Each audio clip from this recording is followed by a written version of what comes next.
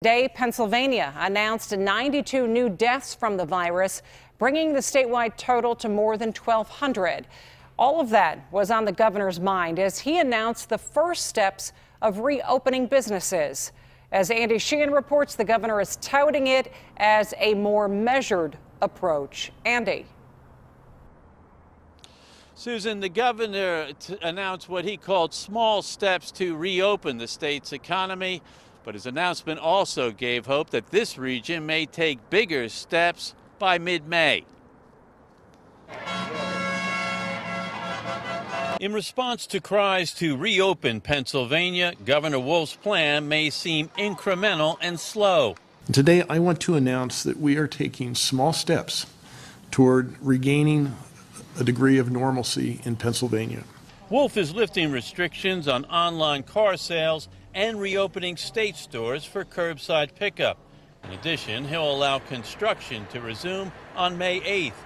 But his stay at home order will remain in effect at least until then, at which time other restrictions may be lifted on what he calls an evidence based, region by region, business by business approach. We have May 8th now as a goal, which gives a lot of people, I think, some predictability and some surety. County Executive Rich Fitzgerald translates this as good news for our region, where the virus numbers have stayed low and are now declining. So at that point, we'll see some lifted, I would expect, in western Pennsylvania, because our numbers have been so good that we would fall into that category. But how much of our economy reopens will be based on data and testing which would allow any resurgence of the virus to be identified, isolated, and contained.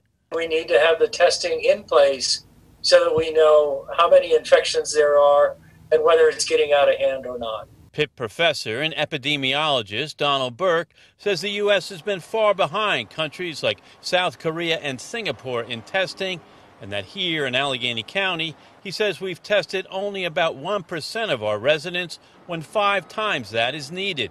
Still, he's optimistic we can get there in short order.